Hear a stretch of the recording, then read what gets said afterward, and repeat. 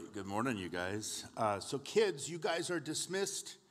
Elementary kids, pre through five, and then our youth group, six through 12, you guys are also dismissed. Pastor Chris has a great word to share with you this morning. I was going to say, doesn't Susie do such a great job on announcements each week?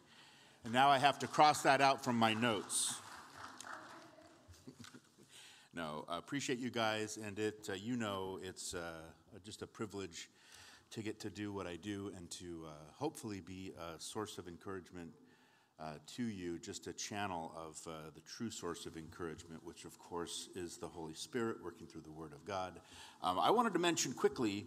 Um, Susie mentioned uh, each week we're going to have a different faith distinctive of Calvary Mountain View. These aren't things necessarily that um, are completely unique to our church, but some of them, as you'll see as we go on, are just a little unique to how we look at things and how we do ministry, kind of our philosophy of ministry and our perspective about different things within ministry.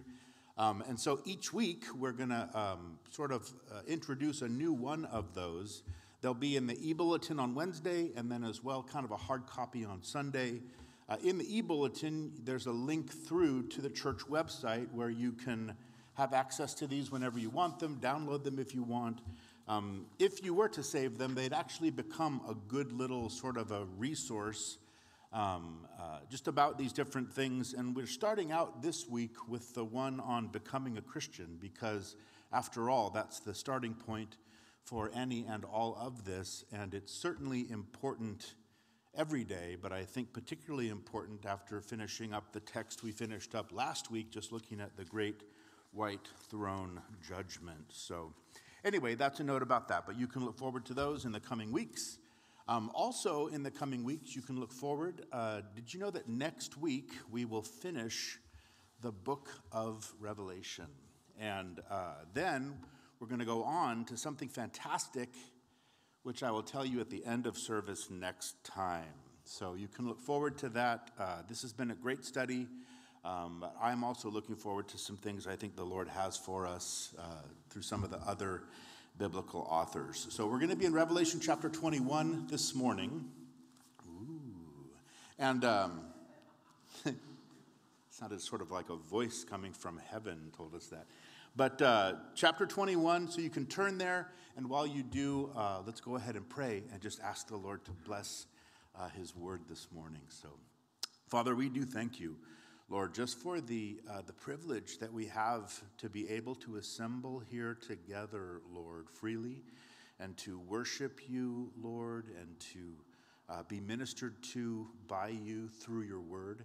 And we pray, Lord, that as we set this time aside, Lord, that it would be a time where you would meet with us here this morning, Lord. We come expectantly, Lord, just uh, looking for what it is you have to share with us each one of us, Lord, individually and collectively, Lord. And we pray it every week, Lord, and every week it's true. We pray that you would give us ears to hear what your Spirit would say to your church. Lord, and we ask it in Jesus' name. Amen. Amen. So, Revelation chapter 21. Um, and as we say often, if you don't have a Bible, you're going to want to have a Bible. So, uh, if you don't have one on your phone, um, the ones in the pews won't probably help you unless you read uh, Mandarin, I think it is. So uh, if you need a Bible, go ahead and raise your hand, and one of the guys will get one and bring one to you. Uh, Revelation chapter 21, and as I said, we are in the home stretch of our study through this incredible book, and we now have all of that time of the tribulation behind us. And you'll remember a couple weeks back, we rejoiced in chapter 19 uh, at the second coming of Jesus to the earth. And then last week in chapter 20, we looked at some of the great things that are in store for the earth right after that event. Um, and the first of them was that our great enemy, Satan, is defeated and will be imprisoned, at least temporarily, bound in chains, cast into the bottomless pit. Uh, we saw immediately after that that there is a great coming kingdom, right? We talked a lot last week about the glorious description of that thousand year millennial kingdom, which we said is going to be a literal kingdom here on the literal earth when Jesus will literally reign in complete righteousness for a thousand years, literally, right? After which, there's going to be this one great final rebellion. We saw that Satan will actually be released from the bottomless pit because he has one more function to, uh, to serve for the Lord.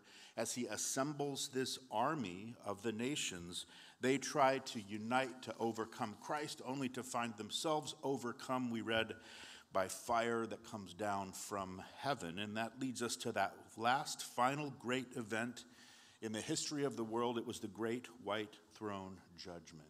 And if you remember from our text last week, it will only be the lost from all of the ages that are going to stand there at the great white throne before Jesus to be ultimately sentenced for their rejection of him, cast into the lake of fire, and to be separated from God for all of eternity. And it was a pretty heavy end to our chapter, and it's really a pretty heavy end to all of human history. And yet, this morning, then, as we turn the page, we're really going to enjoy an entirely new and a very refreshing perspective as we're going to see God, you know, after all of these great things that are to come, we're going to see this morning that He really will make all things new. And I loved the way that one author described it. He wrote that from the smoke and pain and heat, it is a relief to pass into the clear, clean atmosphere of the eternal morning, where the breath of heaven is sweet and the vast newness of God sparkles like a diamond in the radiance of his presence. So, here, understand that with the end of that thousand year millennial kingdom, we've now passed beyond the realm of time and straight into the timelessness of eternity. And our text begins today with this beautiful description of where it is that we, each one of us as believers in Jesus, where it is that we're going to spend our eternity. And that's the new heaven and the new earth. Look at verse 1 of Revelation chapter 21. It says, John writes, And I saw a new heaven and a new earth, for the first heaven and the first earth had passed away, and also there was no more sea. So here John now sees our new heavenly home. It's this new heaven, it's this new earth that God is going to create for us, the saints. We know that, you know, this world that we live in now, this is not our home, right? Peter says that we're just sojourners, we're pilgrims here because we are headed to eternity. We are headed to this new heaven and this new earth that God is going to create for us after all of this stuff is done. We know that the first heaven, right, this heaven, this earth, was prepared for Adam and Eve and all of their descendants that would come. God had perfectly prepared everything for them. He placed them there in that perfect garden. And unfortunately, we know the story, right? They sinned and they ushered death and decay into all of God's beautiful creation. Romans chapter 8 tells us that this whole creation, right, this world that we live in right now, Paul says that the creation itself also will be delivered from the bondage of corruption into the glorious liberty of the children of God. For we know that the whole creation groans and it labors with birth pangs. So we also know that God promised through the prophet Isaiah. In Isaiah chapter 65, he said, Behold, I create a new heavens and a new earth, and the former shall not be remembered nor come to mind. So the old creation, where we are now, has to make way for the new creation. And what Peter tells us is that this present heaven and earth is going to be completely destroyed one day. He says that the heavens will pass away with a great noise, and the elements will melt with fervent heat. Both the earth and the works that are in it will be burned up. So things are going to be just completely dissolved. right? It will go up in this gigantic explosion with a big bang. So, really, man has it completely backwards, don't we? Right? We didn't begin with a big bang, but we will absolutely end with a big bang. And this whole thing, everything we see is going to melt with this fervent heat and be completely replaced with something completely new. And understand, not refurbished, but replaced. Now, a thousand years before this, remember we said prior to that millennial reign, God will refurbish, He will kind of refresh the world in preparation for the millennial kingdom. And it occurred to me this week, isn't it interesting? Do you remember 20 years ago, right, in 2000, the, the big revision that year to the Windows operating system, it was called Windows ME, right, or Windows Millennial Edition. And the one groundbreaking feature of Windows ME was this new thing called System Restore. Do you remember that? It first came out, right? Where you could, after you had some kind of a crash, or if you had conflicting drivers, you know, that kind of had stopped up your machine, you could magically just go back and select an earlier date, a system restore date, and then all the things that you had messed up would then be put back and restored and refreshed to that same workable state before the problem took hold of things.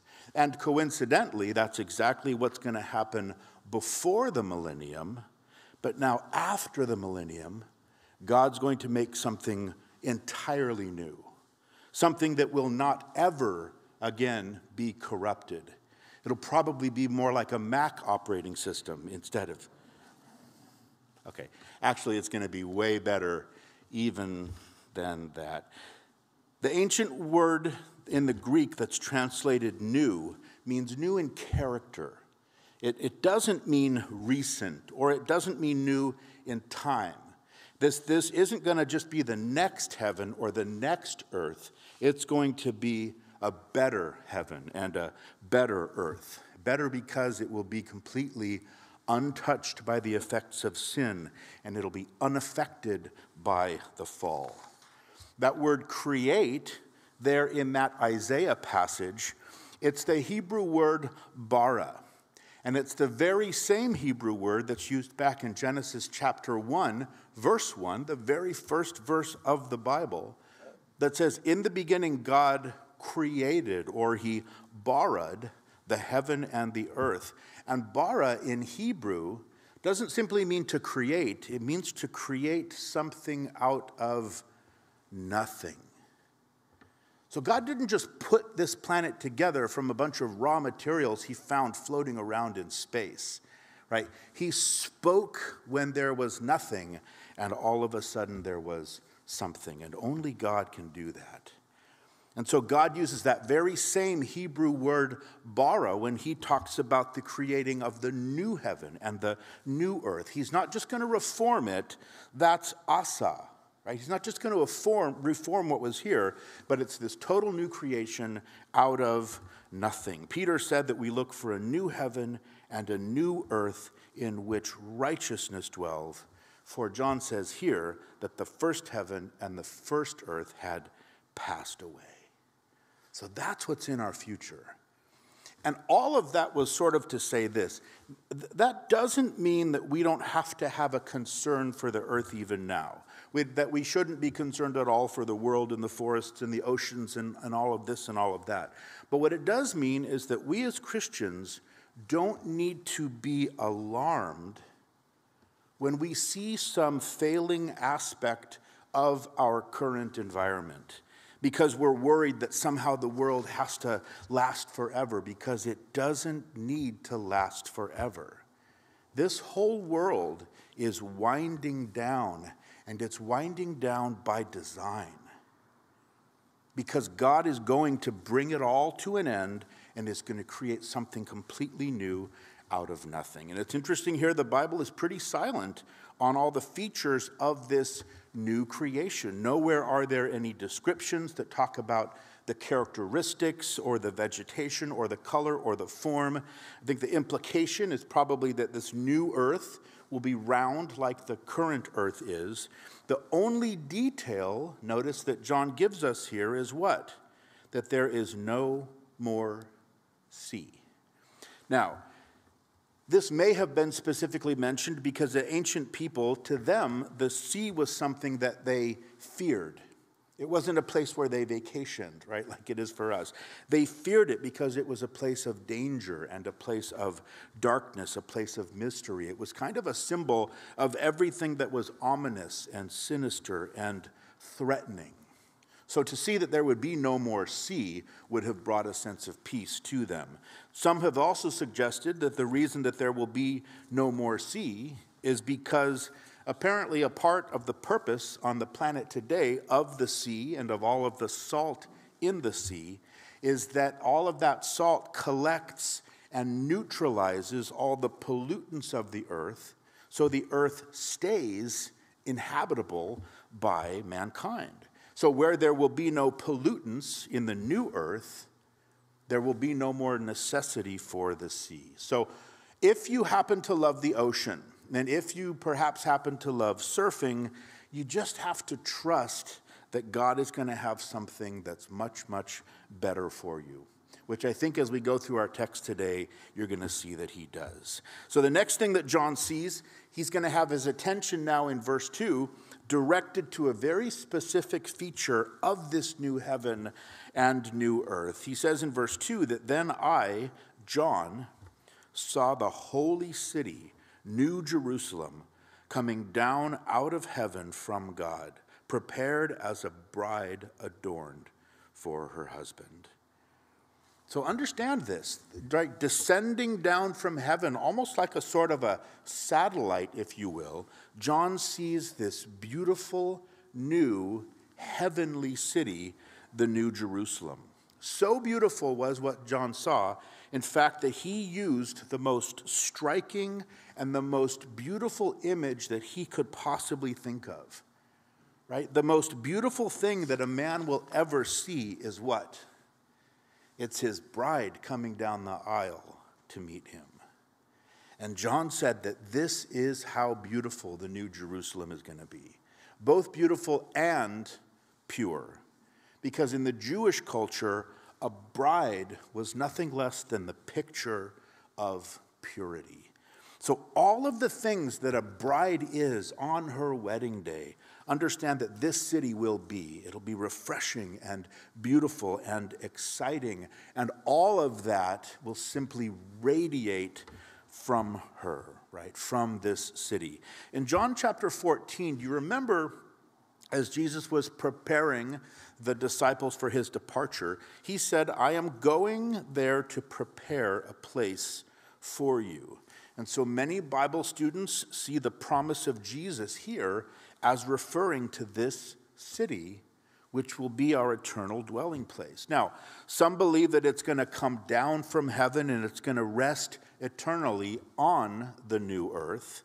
Others believe that it's going to come down and somehow kind of hover just above the earth. And I'm going to let you choose whichever one of those you like the best, and we will all find out when we get there. Amen? But what's most important isn't the location of this city. Again, it's the character of it. Because notice again, John refers to it as a holy city. And what he's doing here when he does that is he's contrasting the new Jerusalem with the old Jerusalem. Now, the current city of Jerusalem is beautiful, and it is a significant city, of course but it's also a fallen city. And we remember back in chapter 8, God actually calls the city of Jerusalem Sodom, doesn't he?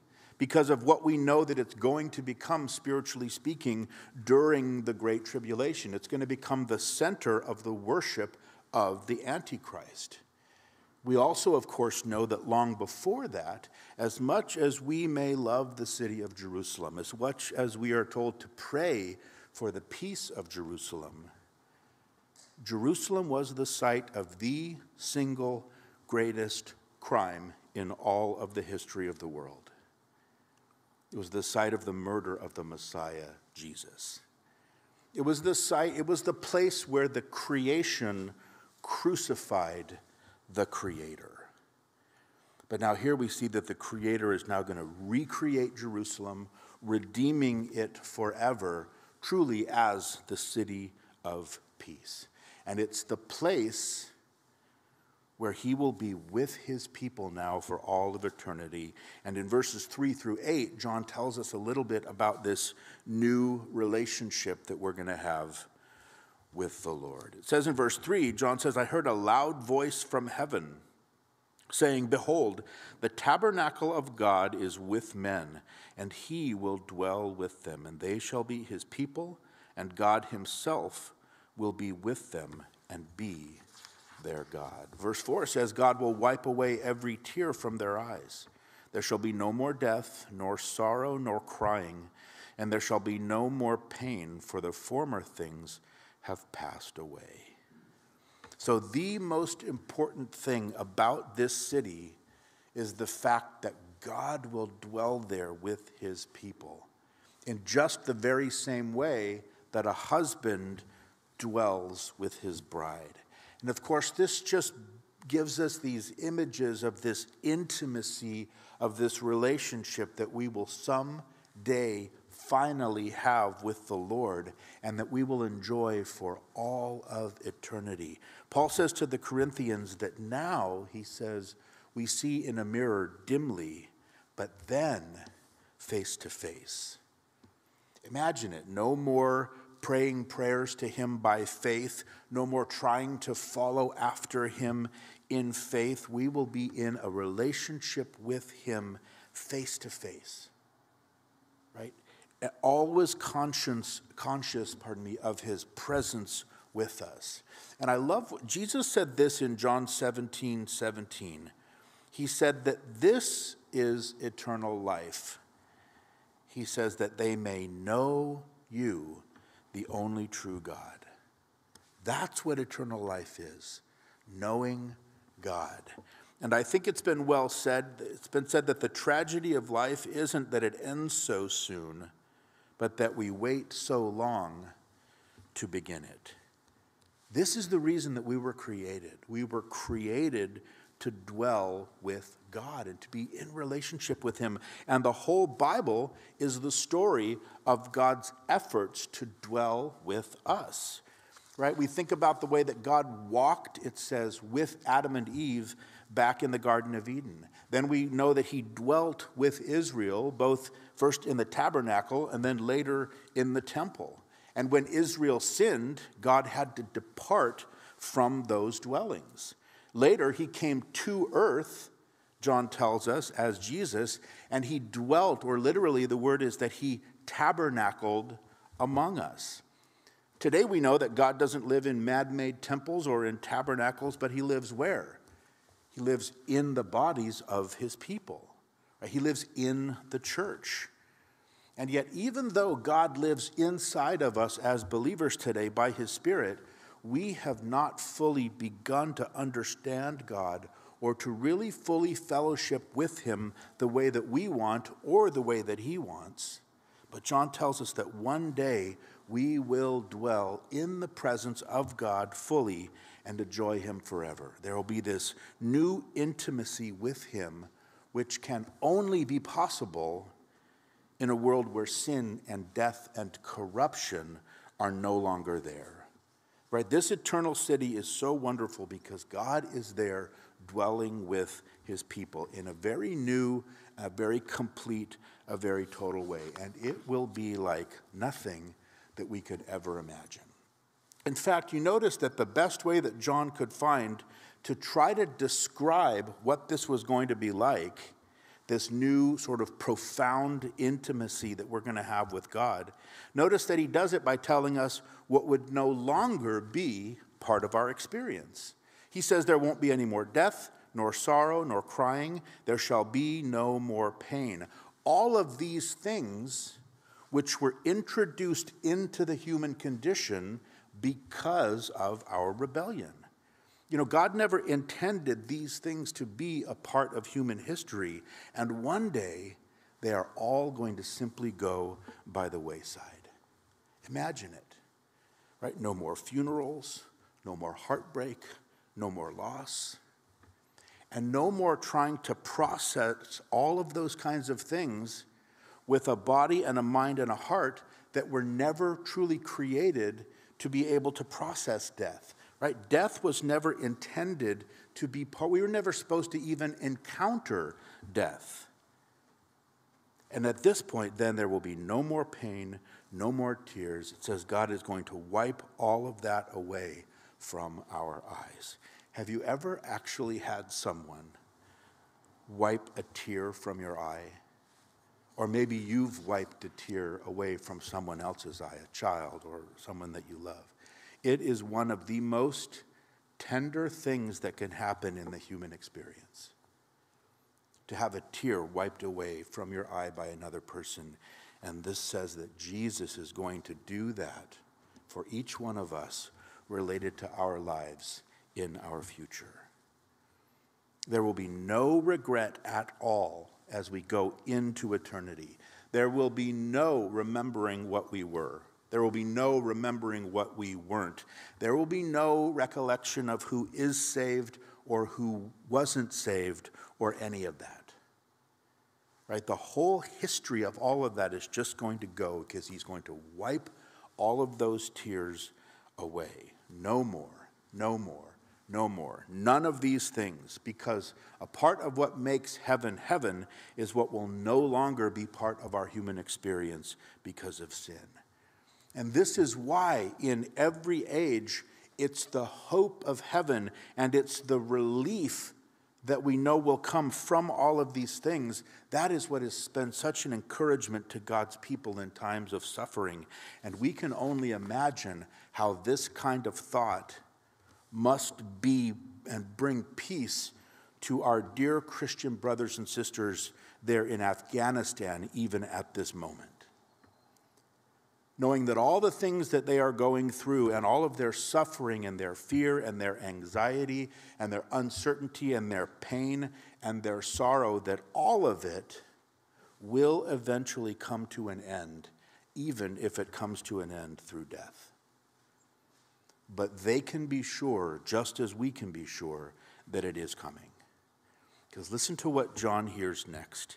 It says in verse 5, John says, Then he who sat on the throne said, Behold, I make all things new. And he said to me, Write, for these words are true and faithful. And he said to me, It is done. I am the Alpha and the Omega, the beginning and the end. I will give of the fountain of water of life freely to him who thirsts. So, for the first time now in this eternal scene, God Himself speaks, right? He is the God who is able to make all things new, and we can count on that. It's like He's saying to John, everything that you're seeing, all these things that you're hearing, it is done. It is as good as done. It is in the future of my people because I am the beginning and the end. I am the Alpha and the Omega. And when God speaks and makes this kind of a promise, it is a done deal. Because he always keeps his promises, and he has given us the entire rest of the Bible, right? The record of his work among men. He's given us that to assure us of this reality. And of course, when he says it is done here, it parallels, right, in John chapter 19, when Jesus cried out from the cross, it is finished. Right? So after the gloom and the darkness and the pain and the sorrow and the anguish of Jesus being separated from the Father because of our sin, he cries out, It is finished. Because at that point, now the basis of our redemption was complete, and the sacrifice was ended, and the foundation was fully laid. And here we see that this very same Lord who started creation and then redeemed the creation himself will also finish it. And here he says, It is done.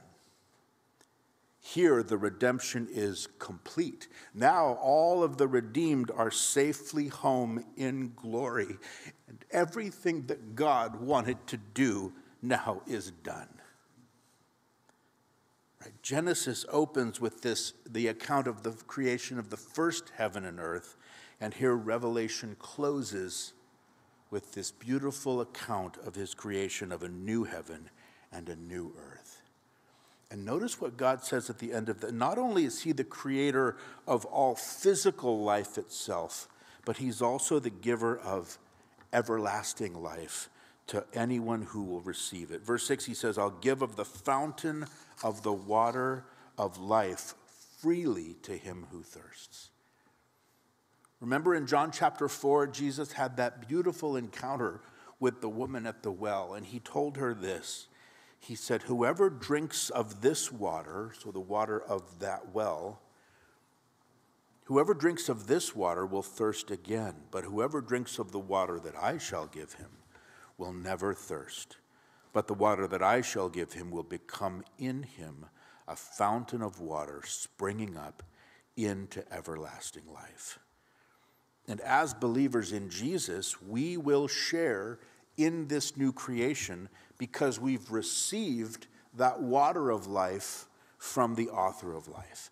That water of life that it says here is available to anyone and everyone who thirsts. And this is amazing to me because here we are literally in the final pages of the Revelation, right? here, you know, declaring that the, God is declaring that this new heaven and this new earth and this wonderful salvation is freely available to everyone who wants it. He is still throwing out the nets, isn't he? Because for all throughout history, for the past 2,000 plus years, people have read this very book and wondered to themselves, wow, this is the future how can I have a place in it? And he gives them this promise here as he describes it. He says, I will give of the fountain of the water of life freely to him who thirsts.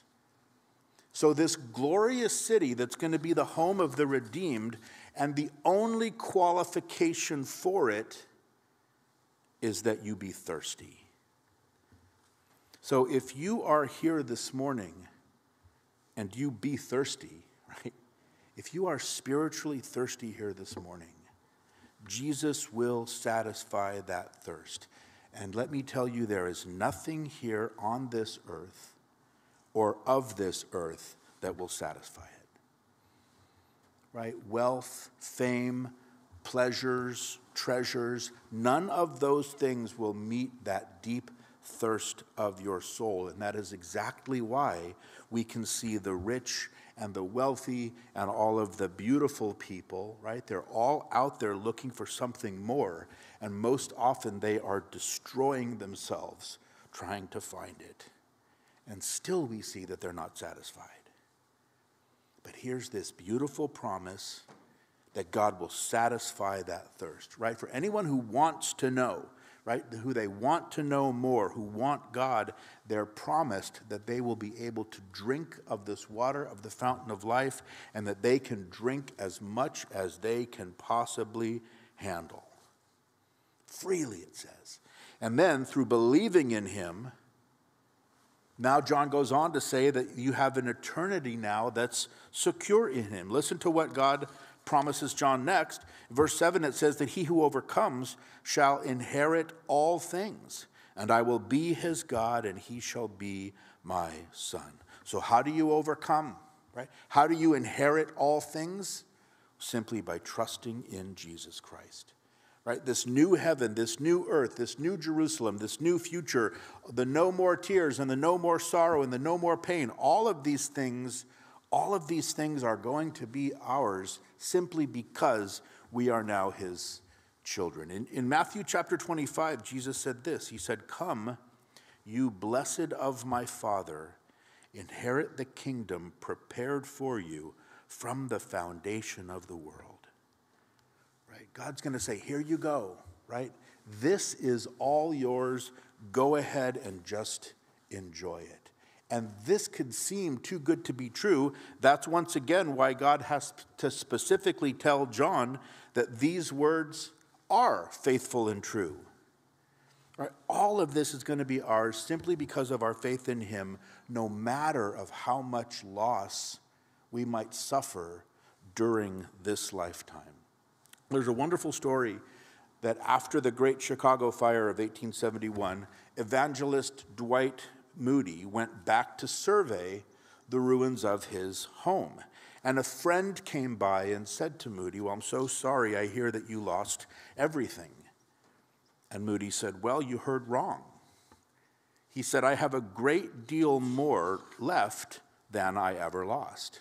And the friend said, Well, well what do you mean? He said, I didn't know that you were rich. And Moody opened his Bible, turned to this verse, and read out of Revelation 21 7 that he who overcomes shall inherit all things. And I will be his God, and he will be my son. Because our true inheritance isn't at all in things, is it? The way that we're inclined to think. But our true inheritance is in our fellowship, and it's through our relationship with God. Peter, right, talks about that inheritance that's incorruptible and that's undefiled, does not fade away. Peter says it's reserved in heaven for you.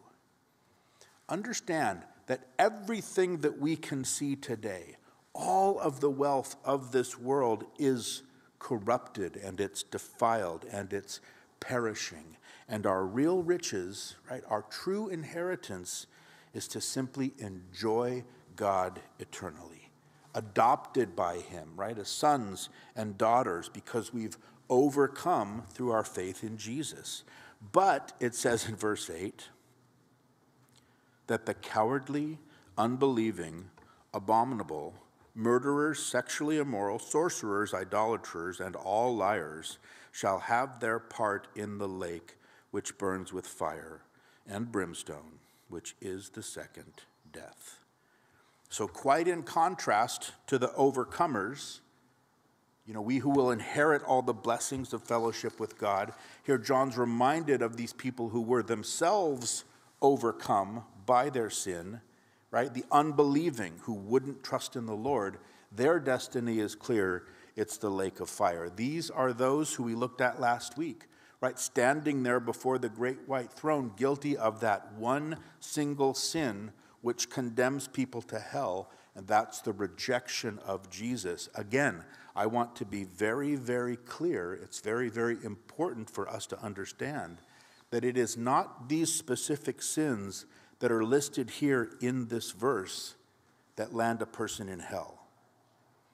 It's that lifelong rejection of Jesus Christ as my personal Savior and as my Lord, when these sins then start to characterize a person's life.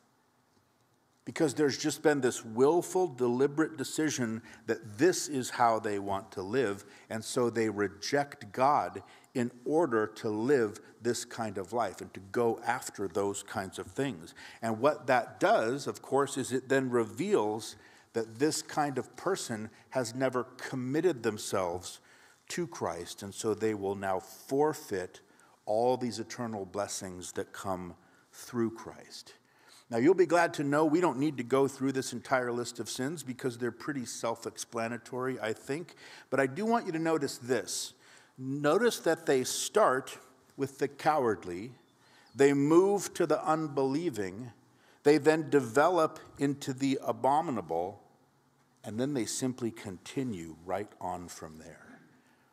And so the sense here is that those who are afraid to take a stand for Jesus when things get difficult right? They're cowardly. They're afraid of scorn or of censure by the world because they're not firmly rooted in faith. And instead, they choose ease and they choose comfort. They choose self. They choose self preservation over choosing Jesus. And that simply reveals their unbelieving hearts. And from that point, it's just a steady slide into an abominable life, which literally just means a polluted life of sin, and it's only inevitable. And so they'll have no part in the New Jerusalem because those sins will have no part in the New Jerusalem. So now John's going to continue. He's going to give us a closer look at this heavenly city. In verses 9 through 27, we get a description of the New Jerusalem. Verse 9, John says that then one of the seven angels who had the seven bowls filled with the seven last plagues came to me and talked with me, saying, Come, I will show you the bride, the Lamb's wife. And he carried me away in the Spirit to a great high mountain and showed me the great city, the holy Jerusalem, descending out of heaven from God, having the glory of God.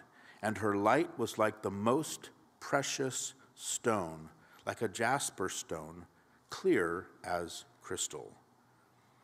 So, John's overall impression of this eternal city was like a, a gigantic, brilliant, glistening jewel. He compares it to jasper, but then he says it's clear as crystal. So now many believe, of course, the jasper stone that we know today is kind of opaque, right? It's not really very clear. And so the thought here is that maybe what he's describing is something more like what we would know as a diamond. Now, a diamond stone wasn't actually even considered a precious stone until the Middle Ages. But you, the sense, certainly, of what John sees, he seems to be describing some kind of a crystal clear light, a radiating and a reflecting light that is coming from this new Jerusalem. The very same way that light refracts through a beautifully cut diamond.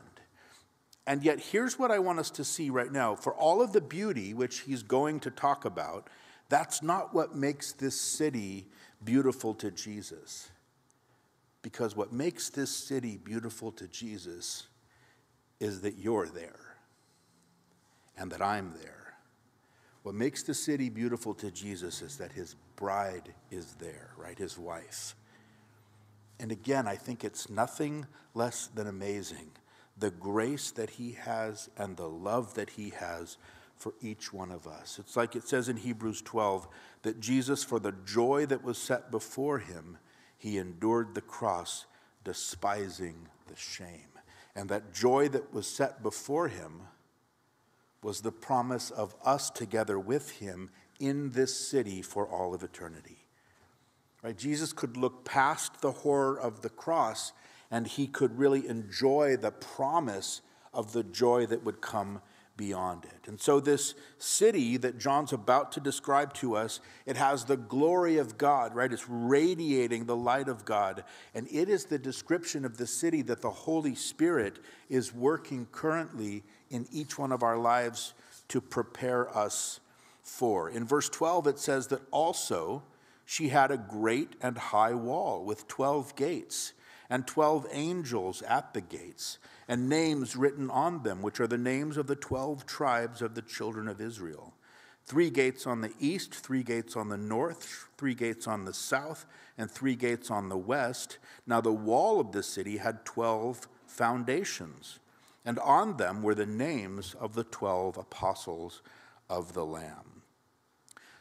So we're going to see that all of these details that John uses to describe the city, they all just follow the pattern of an ancient city, right? Foundations, walls, gates. But each one of these things speak differently of the different blessings that belong to us as believers, right? Foundations speak now of the permanence of our home in heaven, in contrast to these tents, right, that we're using now as pilgrims and as strangers. The walls speak of protection because never again will we have any reason to fear any enemies of any kind whatsoever. They will no longer be a part of our future reality.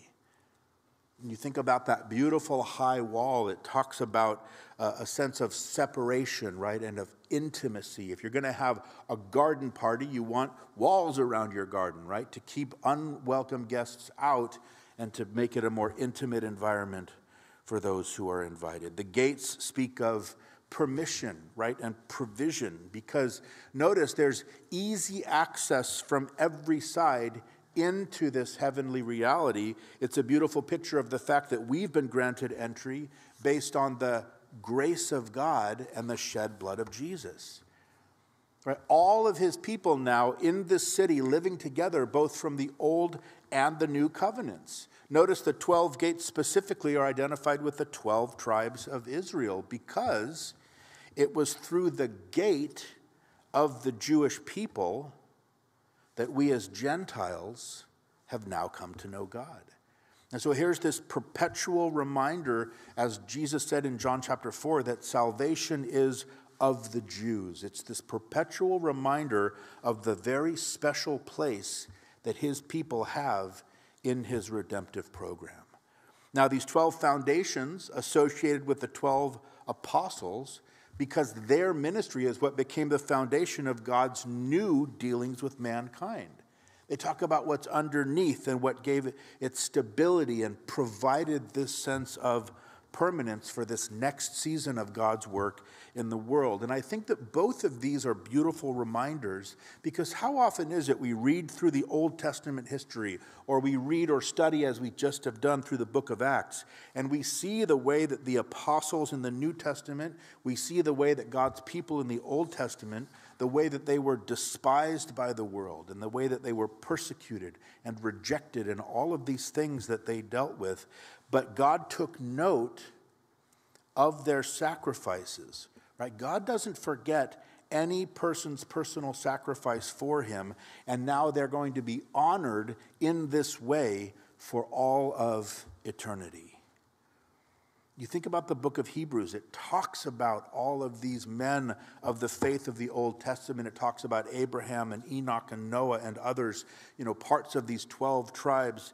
It says in Hebrews 11 that they were those who died in faith, not having received the promises, but having seen them afar off, that they embraced them and they confessed that they were strangers and pilgrims on this earth. They were looking for a city which has foundations, whose builder and maker is God. Understand that Enoch and Noah and Abraham and Jacob and Isaiah, they were actually looking ahead in faith to this very city that the angel is now showing here to John. They were looking ahead to God's promises although they were strangers and pilgrims where they lived. Can I just say that living by faith is far easier when we remember that this world is not really our home at all? It's easier when we remember that on this side of eternity, not everything is settled, right? Not every question is going to be answered, not every wrong is going to be righted. And I think the problem is that too many Christians today really live lives day to day sort of like practical atheists, right? They might have a theoretical belief in God, but that belief doesn't really affect what they do in their day to day. Because when we as believers remember that there is a spiritual reality, that we do have this heavenly home, and that that is our real home, then it makes walking in faith, it makes enduring by faith much easier here where we are now. Right? Don't forget, we too are strangers and we are pilgrims on this earth. We are just passing through. We're not going to be here forever, and that we too are just looking for this very same city that has foundations and whose maker and builder is God. Verse 15 said that he who talked with me had a gold reed to measure the city and its gates and its wall. And the city is laid out as a square, and its length is as great as its breadth. And he measured the city with the reed 12,000 furlongs. Its length, breadth, and height are equal. Then he measured its wall 154 cubits, according to the measure of a man, that is, of an angel. Now, some of you engineers are going to geek out with me a little here because this is an awesome section, right? Back in, in chapter 11, remember that John had measured the earthly Jerusalem. Now, here he's invited to measure this heavenly city. And both the dimensions, the details of the description here are just staggering. Right? First, he says it's laid out as a square. So it's equal on all sides, which may mean that the city is a perfect cube, or some have suggested maybe that it's a pyramid. I believe personally it's a cube because that perfectly fits God's pattern of perfection. In the tabernacle and in the temple, remember that both the altar of burnt offering and the altar of incense, even the, the high priest's breastplate, breastplate, pardon me, were all in the form of a cube.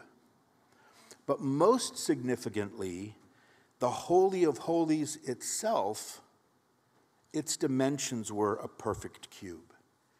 And remember, it was the Ark of the Covenant, uh, the, the, pardon me, the, the Holy of Holies that housed the Ark of the Covenant, which of course housed the very presence of God in the midst of his people. And so, what we see here is that the whole of the holy city, the New Jerusalem, is the Holy of Holies. Right? It's the dwelling place of Almighty God for all of eternity, where God will be in his fullness. And the size of this city itself is staggering. If we take a cubit as 18 inches, then these city walls are 216 feet high. If a furlong is 600 feet, which it was in the ancient days, then this city would be about 1,500 miles long in every direction. That is two thirds the size of the United States in the length, the width, and the height. So that's the distance from the Canadian border to the Gulf of Mexico. It's the distance from Colorado to the East Coast. It's the distance from Mountain View almost to the Mississippi River. And again, that's not just the foundation, but it then goes 1,500 miles up in terms of the height of the city. So if we do the math, there are over 3 billion cubic miles in this city, which makes the New Jerusalem approximately the size of the moon. And so, just to run some quick numbers, that means that 40 billion people could each have 35 square acres each to ourselves. Which is simply to say this there will be plenty of room in heaven for everybody, not just the first 144,000 that get there. Right? This is not going to be like some youth camp where we're all going to be crammed into dorms with like 75 people per room sharing beds, right? It's, and it's not just the size that's staggering. Listen to the, the beauty of the building materials that are used. John says that the construction of its wall was of jasper, and the city was pure gold, like clear glass. And the foundations of the wall of the city were adorned with all kinds of precious stones.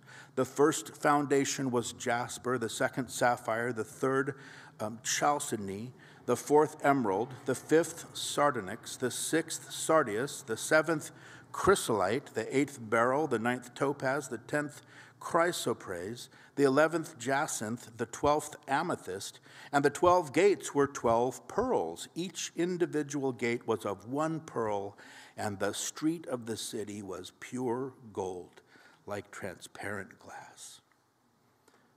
Walls, foundations, streets, gates, all of it is going to be made of the most precious, clear, and colorful stones that we can even imagine. And we can only try to imagine what this is all going to look like as God's light and his glory just radiates constantly, reflecting all through it. Think about this. Jasper, we talked about, was probably a clear crystal. Sapphire is a beautiful blue stone. Chalcedony is probably kind of a greenish blue. Emerald is green. Sardonyx, like our onyx, is like a white stone that has these beautiful brown streaks in it. Sardius is a red stone. Chrysolite is like a yellow quartz. Beryl is green. Topaz, yellow green. Um, Christ, so, chrysoprasus, whatever. Some think it's like a kind of a golden tinted stone. Others think it's sort of an apple green color. Jacinth, jacinth, probably blue, though some think maybe yellow. Amethyst is a very rich purple, maybe kind of a blue red. But whatever these exact colors are going to be, or however you actually pronounce all of those precious stones, I have a good friend who's a jeweler. He's probably dying if he's watching this morning. But the point is that our God is a God of beauty. And all of his beauty is going to be reflected for all of eternity throughout this city that he is preparing for us, his people.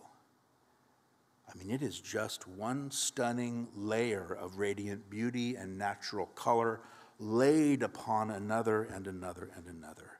And what I think is interesting is when Peter, when he writes in chapter 4, he writes about the manifold grace of God. And that's an intriguing statement. It's almost as though Peter may have had this holy city in his mind by the Spirit, because that word that's translated manifold literally means many colored or multifaceted. And one author made this comment. He said that manifold grace is many colored grace, as when a ray of light breaks into a spray of many hues.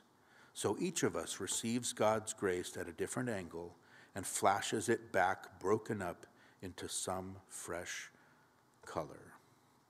Now, incidentally, speaking of Peter, if you ever wondered where we got the image of the pearly gates, here it is, right, in verse 21. But what we see is that it's not one pair of huge gates, it's 12 gates. We also see that St. Peter is nowhere at all to be seen at any one of them. Now, there are some beautiful cities in this world with some beautiful buildings, right, that are built with some beautiful materials. You think of all the beautiful white stone and the exquisite marble that's used in construction, right? But none of them can even begin to compare to this. You've heard it said before, right? In the New Jerusalem, diamonds are like concrete, gold is like asphalt. And down here, we spend all of our lives and all of our energy and all of our soul trying to attain these things that in heaven are just common building materials that you could pick up at Home Depot. And what Jesus is trying to tell us in all of this is what the real riches are in life. He says, hey, up here, we build stuff out of the stuff that you are spending your whole life and all of your energy trying to get.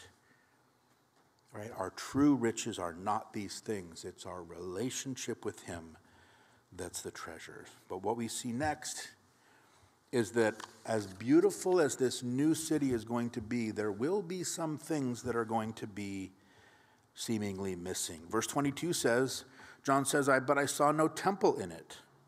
For the Lord God Almighty and the Lamb are its temple. And the city had no need of the sun or of the moon to shine in it, for the glory of God illuminated it, and the Lamb is its light.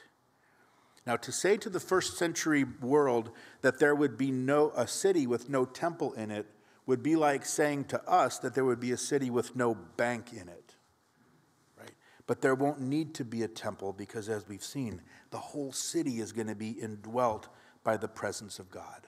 And we've talked about before, remember, all through the Old Testament, first the tabernacle and then the temple that followed, all of it was filled, right, with these types and these shadows in the way that they were designed and in the different furnishings.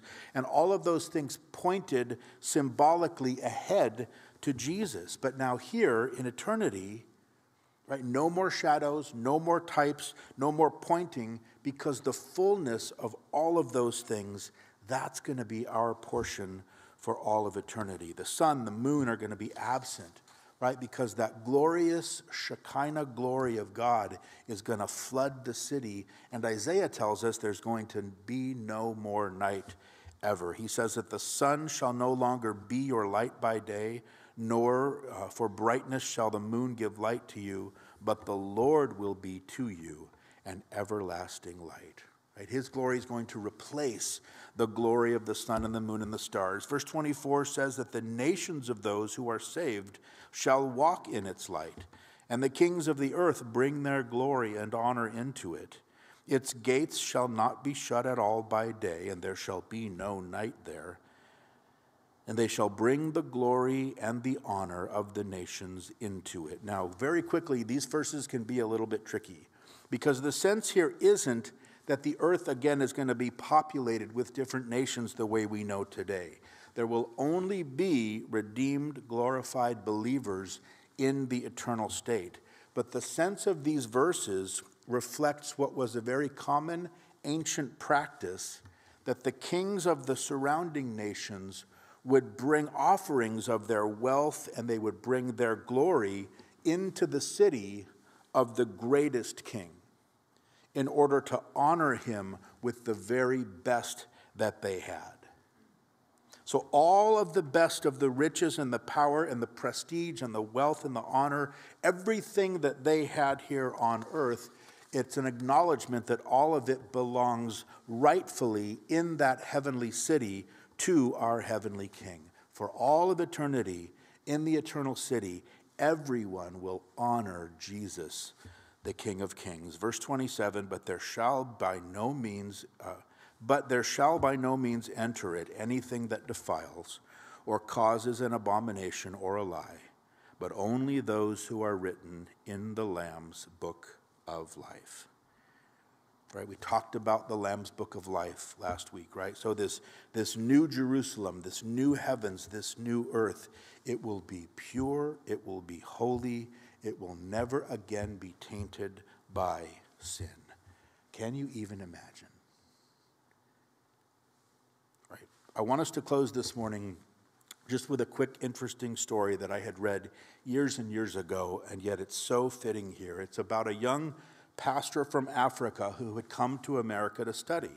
And his very first sermon in his elementary preaching class, Lawrence, who was the name of this African student, he chose a text that described these joys that we are going to share when Christ returns and then when he ushers us into our heavenly home. And he preached his sermon, and then when he finished, he shared this with his classmates. He said, I've been in the United States for several months now, and I've seen the great wealth that is here all of the beautiful homes and the cars and the clothes.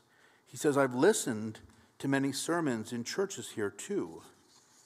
He says, But I've yet to hear one single sermon about heaven.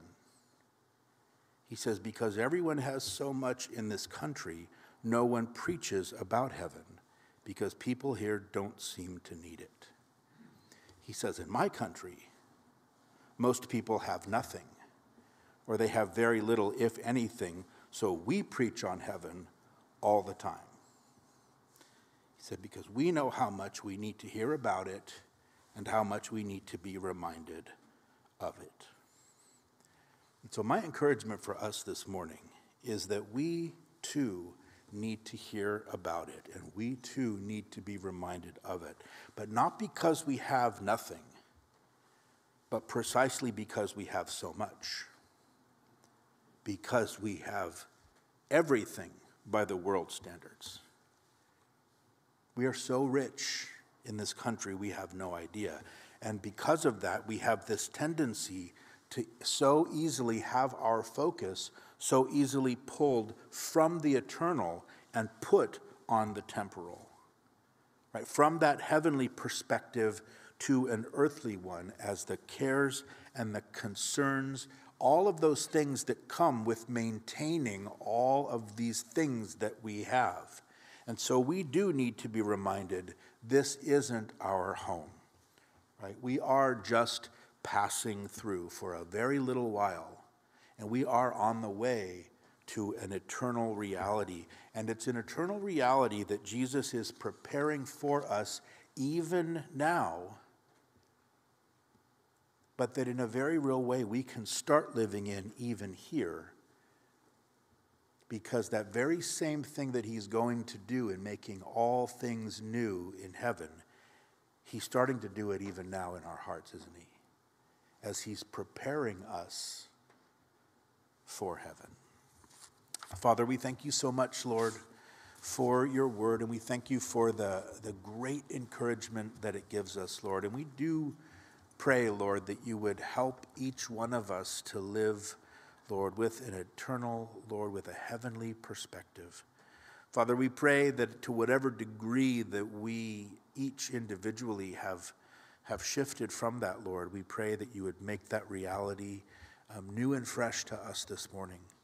Lord, I, I pray for those who have dear loved ones, Lord, who've gone ahead of them, Lord. We know how precious heaven is to them, Lord. And we pray that you'd give us each that sense of, um,